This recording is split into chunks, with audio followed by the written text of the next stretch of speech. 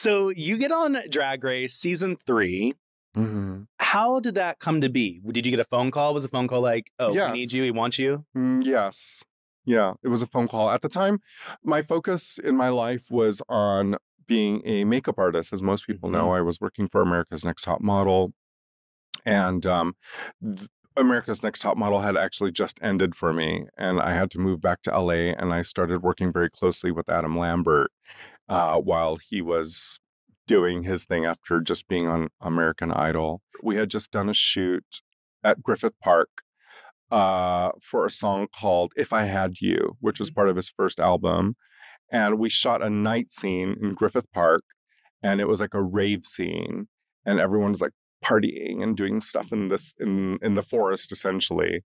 So night shoot started at 5 p.m. and I got home the next day at about 7 7:30 a.m. Finally fell asleep at about 8 a.m., which is when I received a phone call from Matthew. And Matthew says to me, um, honey, where have you been? We've been trying to call you like for like all day. Like, where have you been? How come you haven't answered? Uh, this is flip phone time. No, no text, right? So I uh, I was like, I'm sorry, I was on I was on a night shoot. Um, he's like, well, somebody need somebody wants to talk to you. The next person who gets on the phone is RuPaul. And RuPaul says, "Hi, honey. Um, how you doing?" And I was like, "Oh, I just finished a night shoot. Yeah, yeah. Oh, great, great, great. So listen, I have a question for you. Are you interested in doing the show?" I was like, "What show?"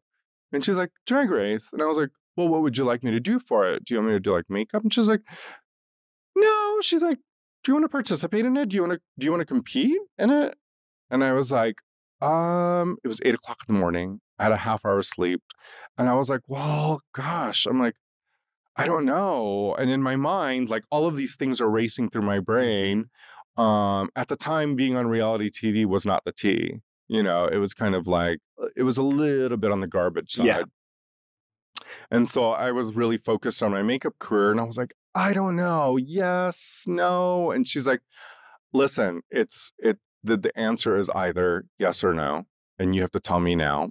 And I said yes to it. And that's how it happened. Wow. I am the only person on RuPaul's Drag Race that never auditioned. Book.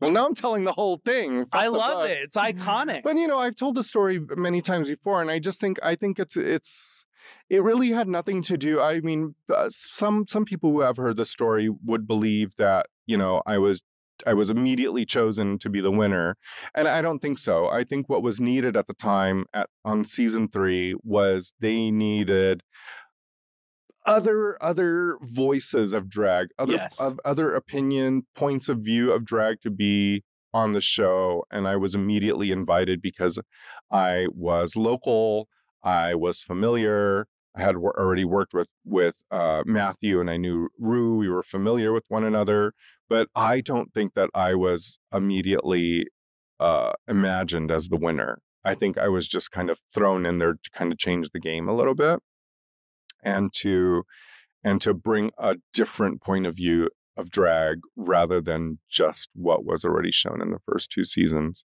I actually didn't even think that I was going to last that long. I thought I was going to probably go about halfway, if not sooner, because I was, uh, or I am a very, um, I'm an easy person to work with, but I have ideas, Mhm. and, and when and when those and and when my creativity or my ideas are disrupted, um, I'm probably just going to walk out on it. yeah, you're not feeling. in, and yeah, instead, instead it kind of worked in a different way. And by the time I was like, you know, part of the final like six, I realized, oh my God, I'm actually here and I have to really, really, really do this. Mhm. And um, and it worked in my favor.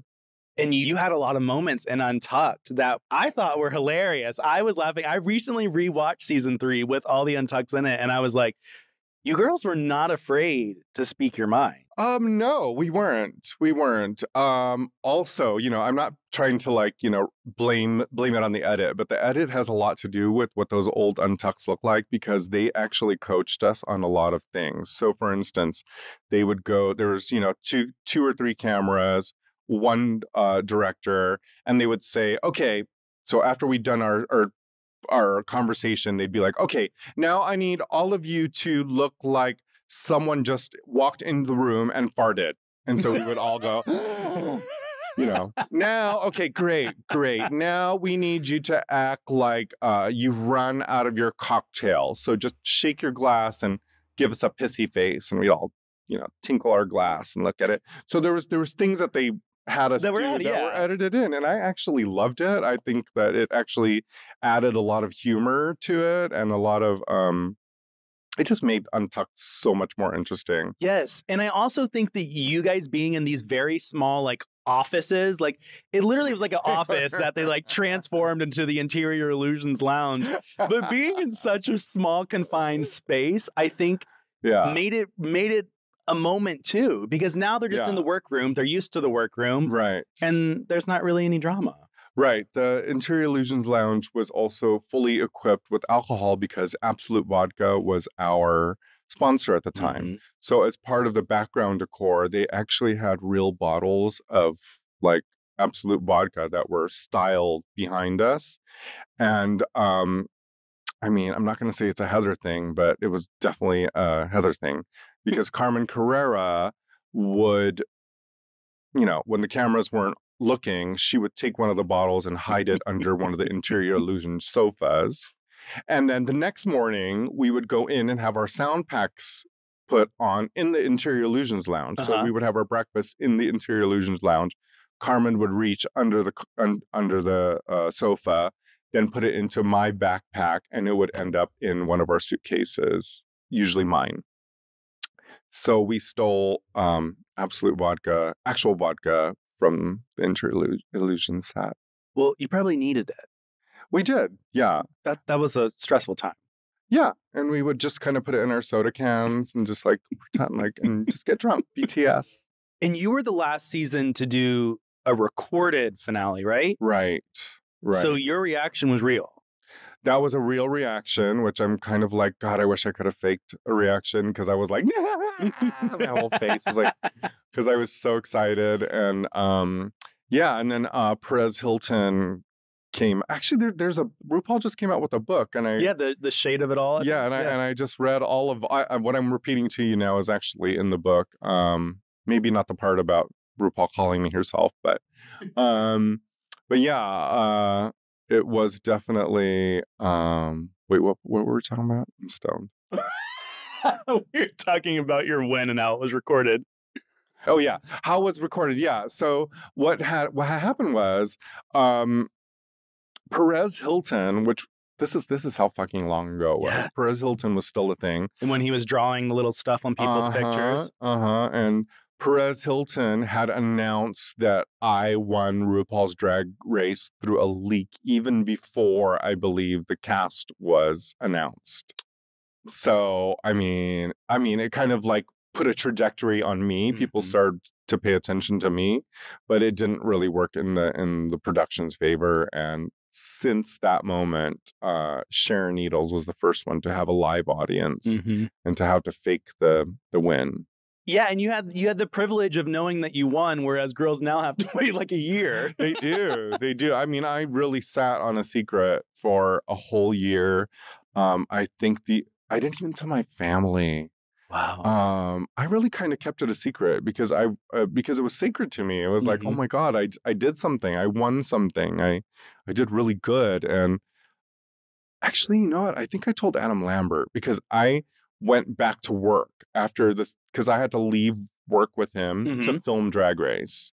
I had to say, hey, they called me. I have to be on Drag Race, so I have to leave you for like a month and a half if I'm there for the entire time. So when I came back to to work with him, I think while while I was doing his makeup, I told him. I think I was like, "Yeah, girl, I fucking won that shit." and then he told Perez Hilton. I won. no, You had a 10 year, about a 10 year stint between All Stars, I mean, between season three and All Star 7. hmm Was there a point that you decided that you wanted to do it? Because I feel like you win.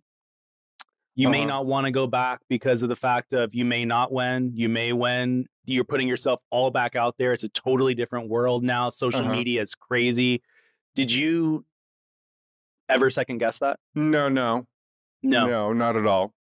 No, as uh, you know, it was all happening kind of towards the end of COVID. Mm-hmm. So I had spent a lot of time at home um doing what I do, which is I, I honestly just I sit and create and I make things all the time, outfits. Mm-hmm. So I had like made like, you know, four or five outfits just for fun, just just waiting for this this pandemic to end and one day be in a club to perform in, in one of these outfits. And then when the call came, I was like, absolutely. We've been stuck at home and I am ready for this. And I'd watched, you know, so many of my friends have the opportunity to go on on All Stars because they didn't win. Mm-hmm. Manila was on it twice. You know, um, so many people, and I was like, wow, I, you know, maybe being a winner isn't such a wonderful thing because you never get to be seen again. You're Mhm. people assume that just because you're the winner, you're you're you know you're you're doing whatever you're doing. But um, it the invitation to come back was definitely like exciting for me. I was like, okay, y'all want, yeah, I'm ready. I'm ready. Let's let's do this. I've sewn outfits for the last Mhm. few months. Let's get some more outfits ready. I was ready for it. It was like it was like like like going to war. Not going to war. No, it wasn't war. It was really about it was really more about like like here's my chance to get to present myself to a whole demographic of people who had never even seen season 3 Mm-hmm. and some of them are quite young and their first experience with drag race started in like you know season nine Yeah. or something so um so i just took it as an opportunity to be like hey i'm i'm here like you know let's keep these gigs going i'm fucking fierce as hell Yeah. and uh and i'm gonna show you what i got